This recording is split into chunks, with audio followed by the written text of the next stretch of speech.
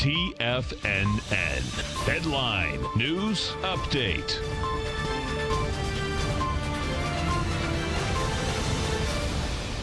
Good morning, everybody. I'm Tommy O'Brien, coming to you live from TFNN headquarters in St. Petersburg, Florida. It's Wednesday, 9 a.m. Eastern Time, 30 minutes to go until that opening bell. It's Fed Day. We get a decision at 2 p.m. Eastern Time. Market all but certain there will be no change in the rate. Be interesting to see what the Fed has to say about the rate and interest rates in general going forward with this economy. Jobs numbers in large array. Of course, we've got market right near all-time highs. S&Ps right now trading up about four points at 3140. We've got Nasdaq futures up 22 points, trading at 8386. Dow futures negative by 19, trading at 27,902. Oil with a little negative action off 22 cents at 5902. And the gold contract this morning up $3.20 at 1471. We'll start things off. We'll start it off with the VIX.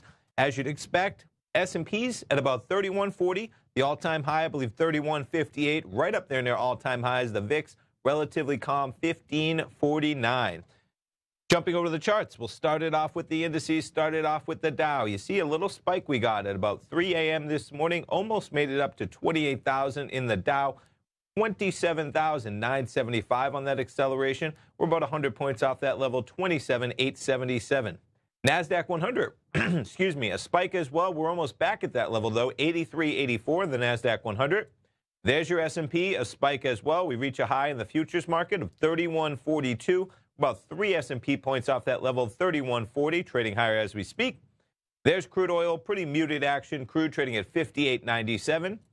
Gold catching a little bit of a bid, 1471.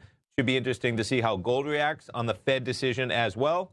And the euro US dollar, 110.85. Tomorrow, we get a vote in the UK, 5 p.m. Eastern Time on Thursday. 5 p.m. tomorrow, that correlates to 10 p.m. over in the UK tomorrow. That's when those results will start coming in. Should be interesting to see how the market reacts there.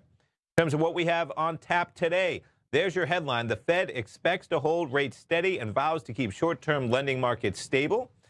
Boeing getting a little bit of negative action this morning as the FAA chief saying Boeing 737 MAX recertification to stretch into 2020. You've heard Boeing talk many times about hopefully getting that done this year.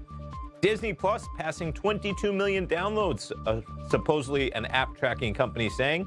And how about in the world of finance and baseball, the Yankees signing Garrett Cole to a $324 million deal for nine years.